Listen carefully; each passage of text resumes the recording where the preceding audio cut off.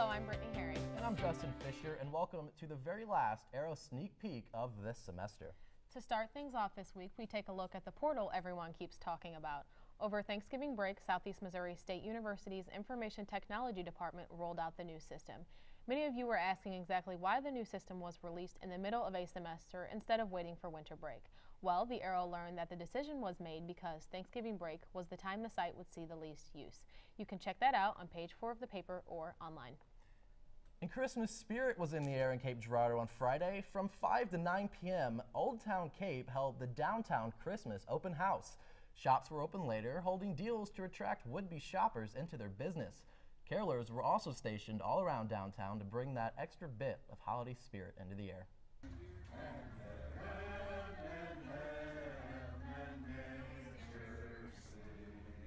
Santa was also in attendance to take pictures with the young kids, and a free horse and carriage ride were also available. But of course, that line was incredibly long.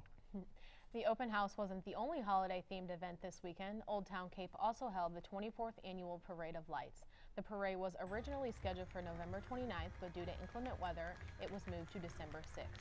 The parade started at Capaha Park and moved down Broadway, where it ventured on to Main Street. You can see that holiday story on our website at southeastarrow.com. Now on to sports. The Red Hawk Success Center is going to see some improvements over winter break. Through some privately funded money, renovations will include an indoor turf and some new equipment for the players. This will allow the football team to work out in much larger groups where right now they have to break off into much smaller ones. That project will cost around $500,000.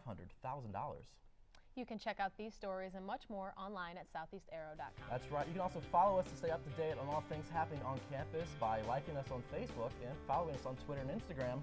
We'll see you next semester.